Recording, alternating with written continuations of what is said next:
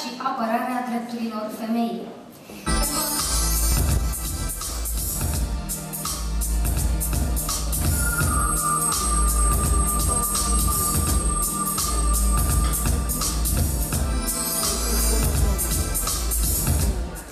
Pentru a număra premiul și a citi nominalizatele, invit în scenă pe Daniela, redactorul șef al revistei Avantaje, Daniela Părătă-Pilevescu, aplaudați-o,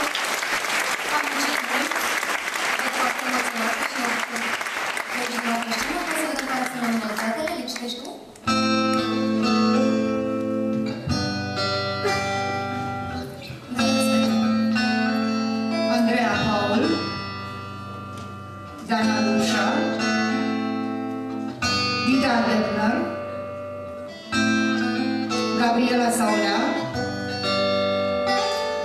Roxana Dumitrache. Să vedem cine a câștigat. Um, Este premiul care în fiecare an îmi face mare plăcere să, să-l prezint, pentru că de aproape 20 de ani eu însă îmi trăiesc de pe urma femeilor și este evident că trebuie să le mulțumesc măcar în felul acesta. Uh, O să vă spun că e foarte greu să găsești în România asociații și organizații care să militeze pentru drepturile femeii. Veți găsi multe care militează pentru drepturile copilului și e o ordine un pic nefirească, pentru că întotdeauna în spatele unui uh, uh, copil părăsit, abandonat sau în situații de derivă, se află mai întâi un părinte în derivă, un părinte în dificultate. Întotdeauna voi spune salvați părinții înainte de a salvați copiii și, evident, salvați mamele. Câștigătoarea acestei categorii este Dita Depner. A venit tocmai de la Brașov.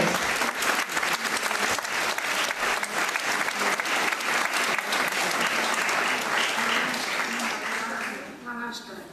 Poate suna înfricoșător ceea ce vă spun, dar zilnic mă lovesc de poveștile horror ale mămicilor care nu au reușit să meargă natural sau care au reușit, dar cu anumite traume și care nu au fost ascultate și a căror voce, efectiv, nu a fost luată nici măcar în considerație.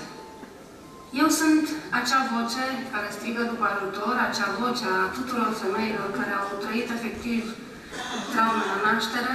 Uh, Sunt vocea tuturor acelor copii care vin în această lume și care sunt despărțiți în mod brutal de mamele lor, chiar din primele clipe de viață, iar drepturile lor nu sunt efectiv uh, luate în seamă.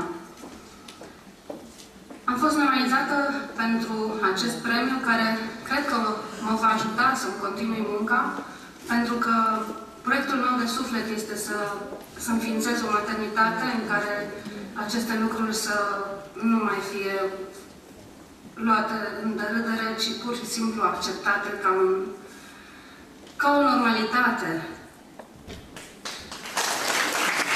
Pentru campania Nașterea Cuvântății dedicată scăpării și prevenirii fenomenului de violență obstetrică din spitale și pentru demersul de a crea prima maternitate din România, care să apere dreptul mamelor de a naște în condiții decente, ferite de manevrele impersonale, dezumanizante și brutale, revista Avantaje o desene- decernează trofeul anului 2016 la categoria Apărarea și promovarea drepturilor femeii, doamnei Dita Depner. Felicitări!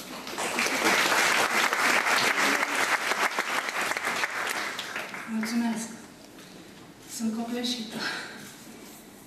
Pentru că îmi dau seama că munca mea nu e în van și că prin, prin vocea mea, care de obicei e foarte, considerată foarte rebelă, se aud acele strigăte de ajutor ale mamelor care încă suferă traume la naștere, pentru că nimeni nu ne vede. Mi-am propus și le mulțumesc tuturor celor care s-au gândit că pot face ceva și datorită lor sunt astăzi aici și primesc această distinție pentru care vă mulțumesc mult. Mi-am propus cu ajutorul vostru să, să creez acel loc în care să ne simțim în siguranță și să ne, să ne primim copiii așa cum ar trebui să-i primim.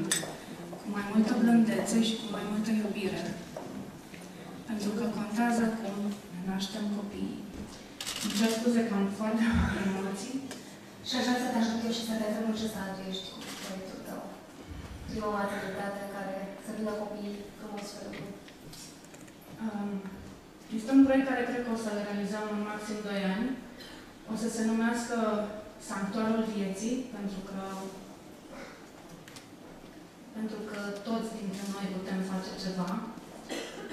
Pentru că sunt convinsă că în ziua de astăzi există atât de multă violență încă în, în lumea asta, pentru că totul începe de la naștere.